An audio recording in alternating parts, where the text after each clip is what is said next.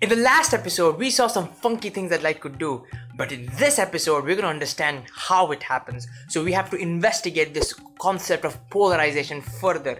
But to do that, we need maths. Now, don't you dare hit that close button just because I use the word maths. The maths is going to be easy and it's going to help us. I'm gonna keep it as simple as possible. In fact, I have broken the maths down into three simple parts. So we're gonna do it step by step. In the first step, I'm gonna tell you a little bit about vectors. Vectors are cool and we're gonna use its amazing properties. In the second step, I'm going to tell you a little bit about statistics. When you have a lot of data to handle, statistics is your best friend.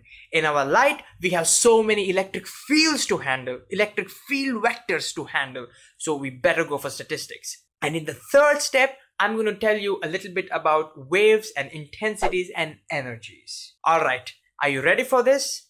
Let's begin. Let's start with vectors. What's a vector? This is a vector. A vector has a size, a length, which represents how strong it is. We call that as the magnitude. For example, this vector could be a force. Then this would be a very weak force.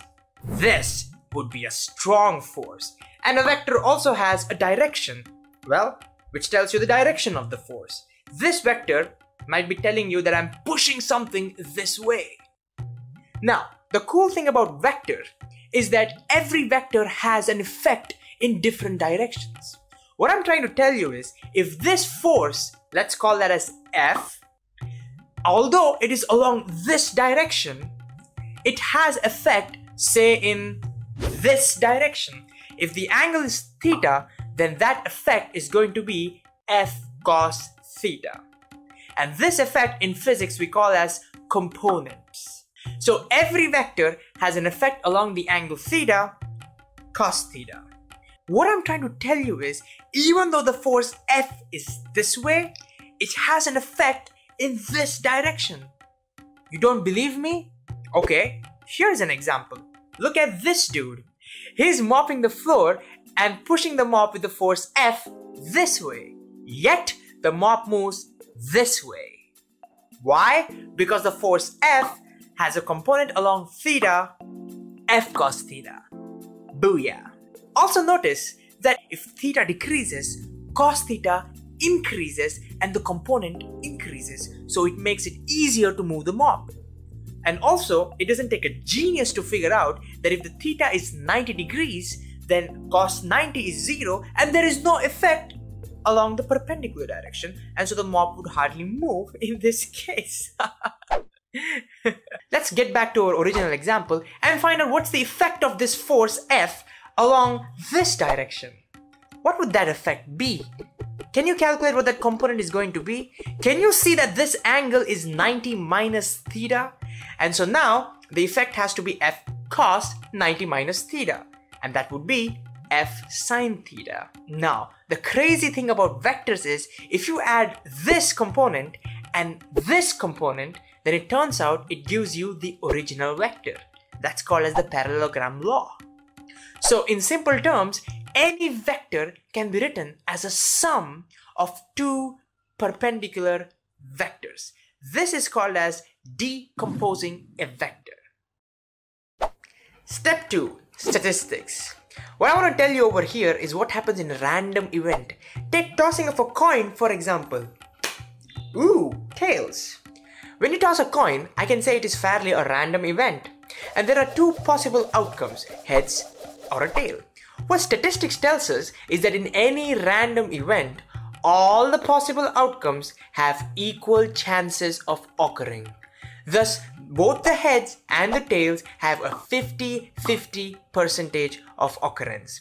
Does it mean that if I toss the coin again, I would get a heads now, and then again I would get a tails and then a heads? Obviously no, you and I both know that doesn't happen. But what it does mean is that if I toss this coin a billion times, then I would find half a billion times a heads and half a billion a tails. Or I could also set up an event in which I would have billion people tossing a coin once. And again I would find that half the billion people would get heads and half the billion tails. Think about this. Each and every individual person, I have no clue what's happening. It's a random event. He might get a heads or tails. But I do understand that if I consider the entire billion population, then half of them must get heads and half of them should get tails. That is statistics. Step 3 Intensity.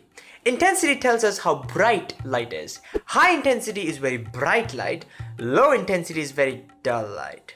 So, what does intensity depend upon? In the previous episode, we saw that light is made up of an electromagnetic wave containing oscillating electric field vectors and also magnetic field vectors, but let's forget about that, okay?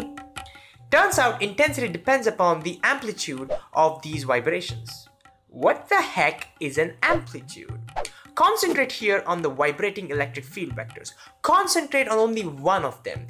You see that this electric field starts from 0, goes to a maximum, returns back to 0, goes to a negative maximum, and goes to 0 again, and repeats the entire cycle over and over and over again. This maximum value is what we call as the amplitude, and most of the times we only show the amplitude of these vibrations when we depict polarization. The intensity depends on this amplitude.